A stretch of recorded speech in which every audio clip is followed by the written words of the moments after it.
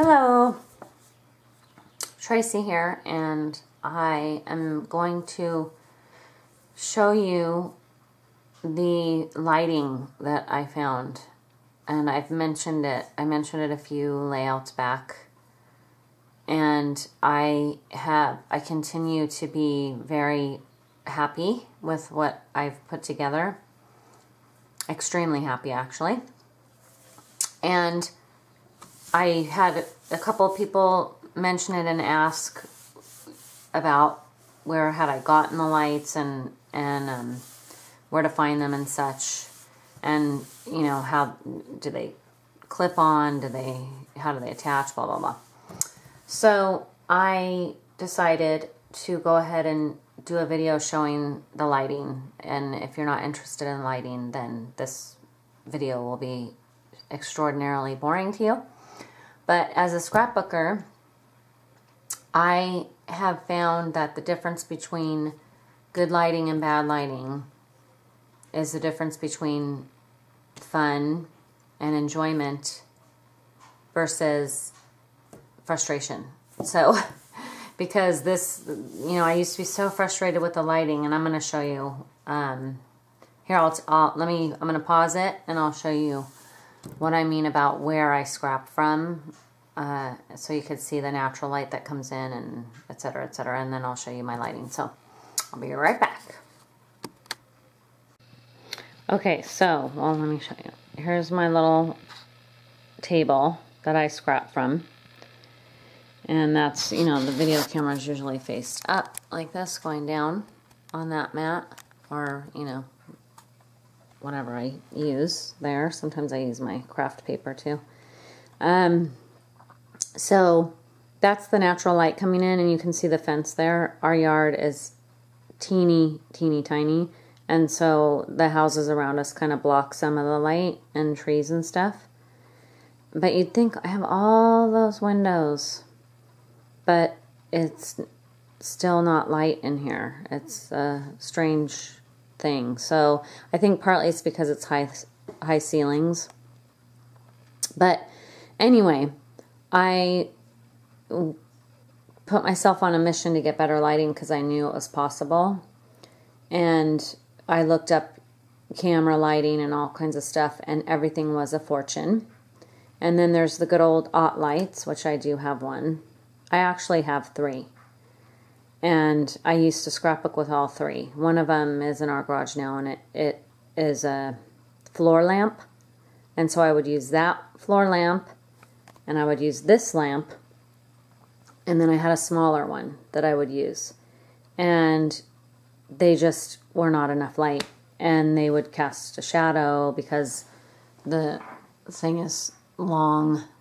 And they just it just wasn't the ideal light. I even though it's OttLights and OttLights are great, it just was not um, good enough for me. So uh, and then my husband put this together, this thing for me to put my camera.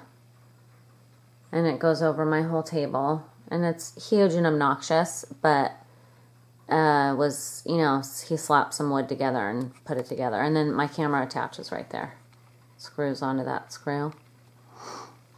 And, and so that's where I film from. And I started thinking about, so then I started researching light and how to get, you know, like true sunlight and, and what is an OttLight and what makes it better, et cetera, et cetera. And I learned that OttLights have the measure is 5K, 5,000K, excuse me. That is the measure of color to light or blah, blah, blah. I don't totally get the science, but that's the measurement on an OttLight. It's 5,000K, and that's the light you're looking for. So then I started researching what other light bulbs have 5,000K, and it turns out there's tons you can get them cheaper, and they're, you know, if you get fluorescent lights, you can actually find fluorescent lights that are 5000K. However, that's what I actually have on this, this light right here.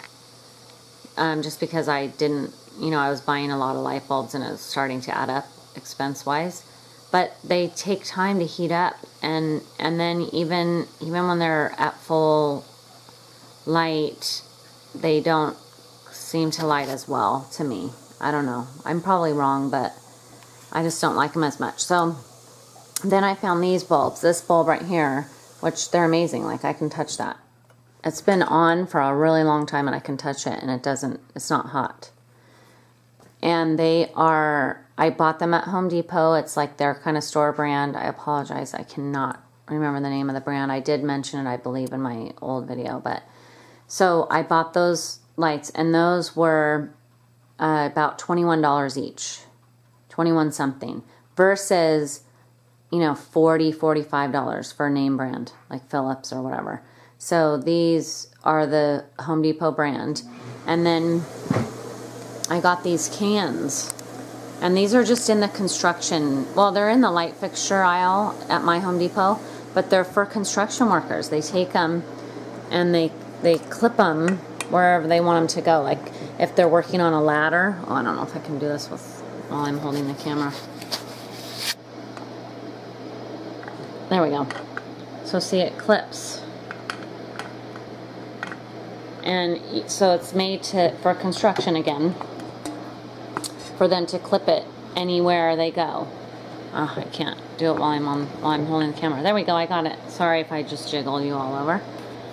So, you know, you can put it on a ladder or whatever, but I am able to just clip them right to this spot where I work.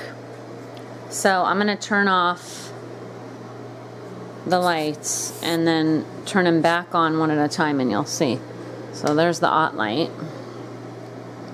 And that made a difference. This light. So that's just my natural light. Well, I do have can lights. Panning too fast.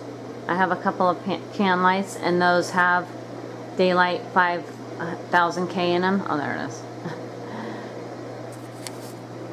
but that's the only, that's as much lighting as I get from those. So here's the OttLight turned on. Again though, as soon as I would move this into the way so that I could get enough light, then you could see that. So they just weren't quite the right shape and they're not enough lumens so they don't light up enough. Even though it's the right light, the right color of light, it's not enough power in an OttLight. And they are expensive. This little desk lamp I think was $50. The, the floor lamp was over a $100. So I spent a fortune.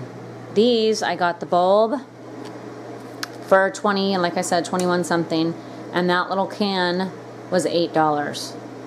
I think it was on sale so regularly I think they're ten dollars. So between the two of these lights I spent 50 bucks. So now let's look at the difference. So that's the OttLight on that's one can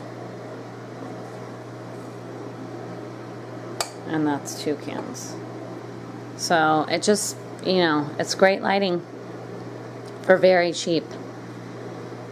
So, if it if this helps even one or two people, I'll be thrilled. You know, I mean, again, I know it's hideous. It's so ugly, this thing. But I don't really care because I'm scrapbooking. I want good light. So, you know, someday when I have a scrap room, I'll be able to set it up better and it, I will be able to do something pretty.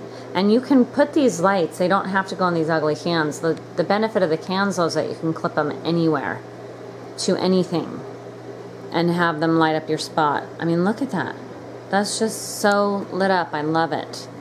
So, anyway, um, I hope it helps somebody and you find lighting and I mean, I don't know, maybe I'm alone in my struggles with lighting, but I certainly am not struggling anymore. I'm thrilled. And uh, if I would have known before I bought those OttLights that I could do it this way, ugh, I would have saved that money. And I mean, really, the truth is, I want another can, and then I'm going to do away with that desk lamp. I'm going to put another can coming from the other side. coming from behind the camera there. I would like to do that. The only thing is that it shines into my face and they are really good bright light and it's like having sunlight in your face. So, but um, the, it's really a lot more light than the OttLight provides. So, anyway, I hope this helps somebody and uh, let me know your thoughts. And I appreciate you watching. Thank you so much. Bye bye.